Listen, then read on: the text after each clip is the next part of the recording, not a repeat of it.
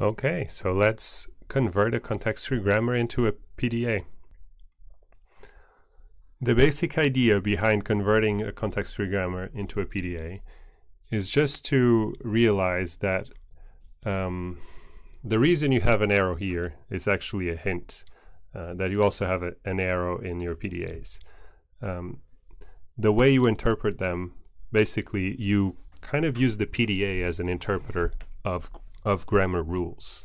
So that's the basic idea. You want to use um, if you ever if you if you took CS 450 um, or are, are taking 450, the whole idea is really uh, if you're implementing with a, uh, a, an interpreter of a programming language, um, you have this this loop, but in a in a functional programming language, you have a, a recursion where you're going over, you're executing the language step by step.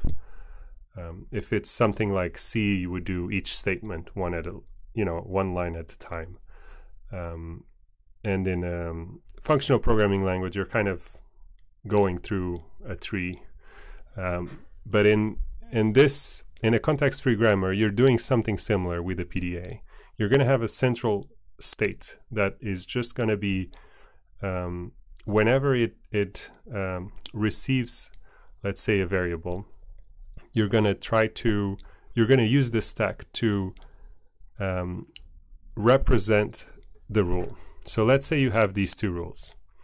One way to interpret them is, okay, so whenever I see a variable, because it's going to produce these things, right? You can imagine that whenever you, you your uh, central state that represents the interpreter loop of the PDA, if you have in your uh, stack uh, variable to process, that means that you have some some program to execute, if you will.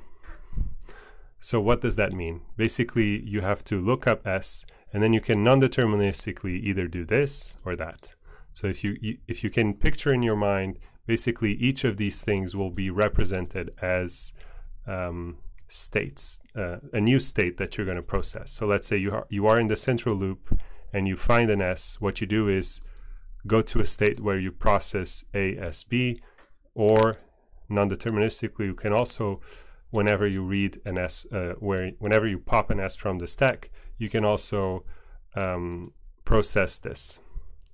So what is what is processing a rule? Processing a rule is basically you're going to push a terminal, right, in this case, or you're going to push a variable and then you're going to push a b. So you're going to push these three things into the stack, okay? So now what do you do when you read an L? So in this central loop or central state that represents this interpreter loop, whenever you read a terminal, whenever a terminal is in your uh, top of the stack, you're going to read it and you're going to advance uh, the, the types. You're going to consume an input whenever there's a terminal in the stack. Um, so that takes care of this. And then a variable is done recursively, right? Because if you've pushed A, S, B, basically in your central loop, whenever you find a terminal, you will consume it and read something from the input. Otherwise, you will read a variable, which you will again push to the stack and consume it again back in the central loop. Or then eventually you will read another um, B, which is another terminal. And the basic idea is that because this is a non-deterministic uh, automaton, each of these, um, if each, if you have a state that consumes the input of each rule, and because it's non-deterministic, you are going back to the beginning, so you can choose another branch. That means you will eventually explore all possible uh, rules. That's the basic idea. So let me explain what is the strategy. So first you do the usual thing. You just push the sentinel dollar sign on, onto the stack. And then what you do is you push the initial variable. Okay, and then in the loop, what you're going to have is steps two, three, and four, which happen non-deterministically, depending on what you have on the stack and on your input. So if you if you have if you have on top of the stack a variable, you're basically going to execute a rule. If you have a terminal, you're going to read, you're going to pop that terminal and read the input. Um, you're going to read that terminal from the input. Otherwise, your stack is empty and it means you are you have achieved. So let's see kind of how it would execute to process this step by step and get the intuition of how you would execute it. So let's say my stack, the first step is step zero. So we're going to push dollar sign. So we have this in the, uh, by output, we mean the stack. Okay, so our stack has a dollar sign. And then what we do, we push s, the initial variable, right, s. Okay, so now we have this on the stack. Because we have this on the stack, we can do either of two things. We could either process this uh, epsilon or we could process this um, rule. So let's say non-deterministically we chose to process this rule, which is what we're doing on this step two. So if we did that, then we popped A and we pushed A S B. So now our stack, we replaced, see, we're rewriting the stack and we're pushing the rule onto the stack. Okay, so now we read A. Now A is on top. What do we do whenever we find a terminal? Oh, that's simple. We pop the terminal and read the input. So we consume the input A, finally. Okay, so that's cool. Uh, now what is on top? On top is S. What do we do? Let's say non-deterministically we chose to read the first rule again. So we push it again, and now we have A, S, B, B. Okay, so our input is still the same. Uh, now A is on top. What do we do? If A is on top, we do 3. So 3, we pop the terminal and we read the input. So we read two A's at this point. What is on top? S. Let's say that now we chose to, um, we chose the rule epsilon. So if we choose the rule epsilon, which is this rule, nothing happens. We simply pop the S from the stack. And now on our stack, we have two terminals B and B. So each of these terminals, we're going to run the rule 3 again. So we're going to consume these three terminals. We finally have an empty stack. And we are ready to conclude. Um, so if the stack is empty, we could, could run step 4 and recognize string A, A, B, B, which is what we would like to do. So that's the basic intuition of how this works.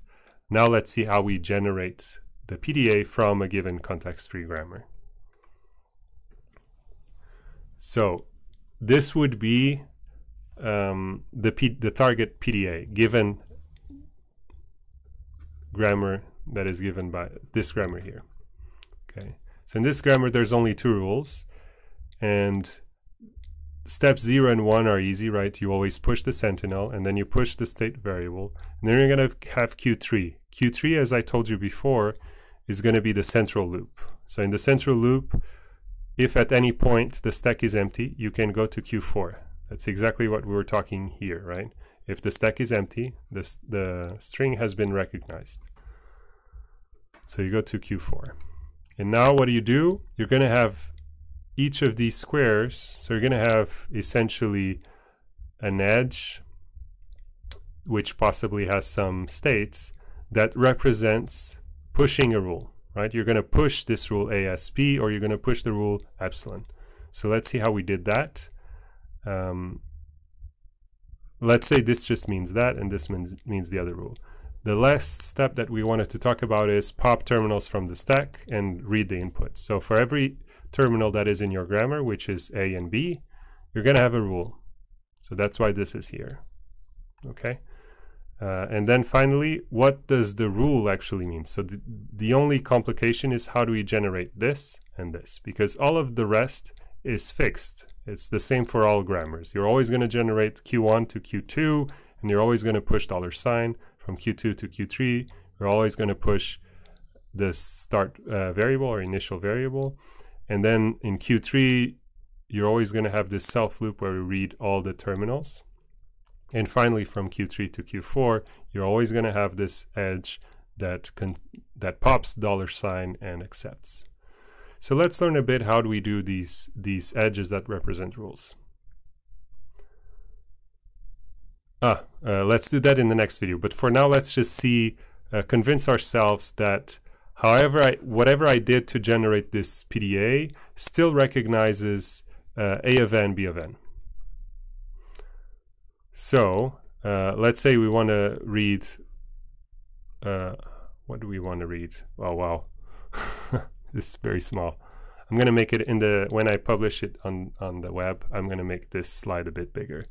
But here what I'm reading is, let's see, epsilon, epsilon, epsilon, A, A, B, B. Okay, that's what we're reading. Um, yeah, if you try to read AABB, as you know, there's a lot of steps where you have to push the rule. So you're going to have a lot of intermediate steps uh, just to do AABB. And if you recall, we actually wrote um, a PDA that recognizes A of n, B of n, that is way smaller than this one. So, of course, this is not optimized. And by optimized, I mean uh, using fewer states. But it is equivalent, which is what we we care about. So, uh, just to sum it up, to summarize, we're always going to have these three uh, one, two, three, four states for every conversion from context-free grammar to PDA.